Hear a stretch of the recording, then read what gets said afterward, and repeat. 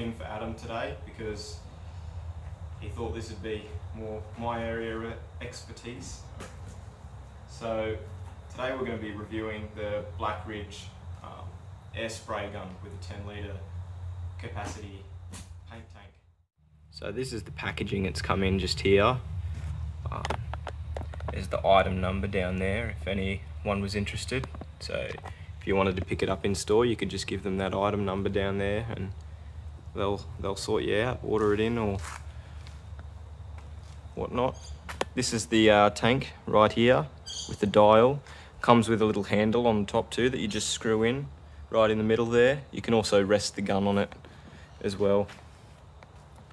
Um, these here is how you hold the top of the tank on. You just pour your paint inside the tank and then screw these down and that holds it down, keeps it under pressure.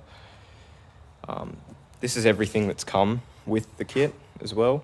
So it comes with uh, two tools for tightening up all the fittings and things like that. Um, a brush for cleaning the tank and cleaning all the, the fittings and things like that. Uh, the spray gun itself, which is a fairly good quality spray spray gun. Uh, Blackridge is a very good brand for all air compressors and whatnot, things like that. Air fittings, um, spray guns, um, gravity fed spray guns, and this bad boy here, which is what we're going to be playing with today. Um, one thing it didn't supply was uh, plumbing tape for all the fittings. We had to go and get some of our, our own to um, wrap around all of the threads and stuff for the fittings. But other than that, uh, it comes with everything that we've needed so far. Uh, it came with the two hoses as well included in the kit. So the orange one you plumb from the bottom of the handle going up into the side of this um, dial right here. And then the black one is for the um, is where the actual paint comes out of. So the paint comes out of a stem inside the top of the lid, out this 90 degree bend through this black pipe and feeds it right up into the gun. Um, and with the gun as well, you could also angle it to the side for spraying up and down, vertical or horizontal, whichever tickles your fancy. And yeah, that's pretty much all there is to the gun. Uh, one more thing with the air gun, it can be used with um, normal house projects. Painting doors is what we're going to be doing today.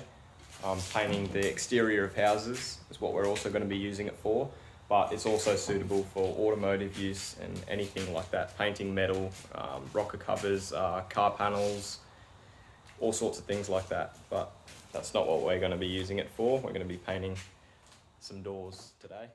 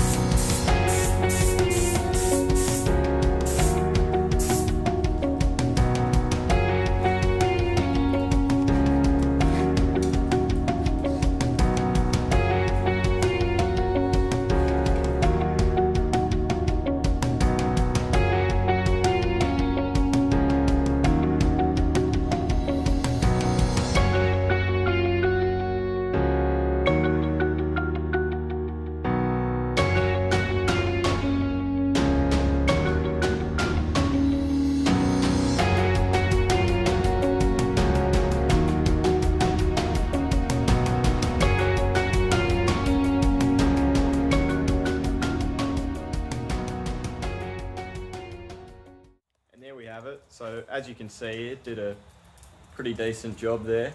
Um, we're not painters by any means, so I'm sure you'll all be able to tell us that we're doing it wrong or there's a better way of doing it. The main thing that we couldn't really figure out how to do was um, the instructions couldn't, like, wouldn't tell you how to adjust, like, how much paint was coming out compared to, like, the air pressure, but I'm sure we'll figure it out at some stage. Um, that was the only really thing that we had trouble with. Other than that, it's a pretty, pretty decent bit of gear. I was pretty impressed with it. As I said, you could use it on both automotive stuff and it seems to be doing woodwork just as good. So anything that tickles your fancy, you can use it for really. So that's all we've really got today. Thanks.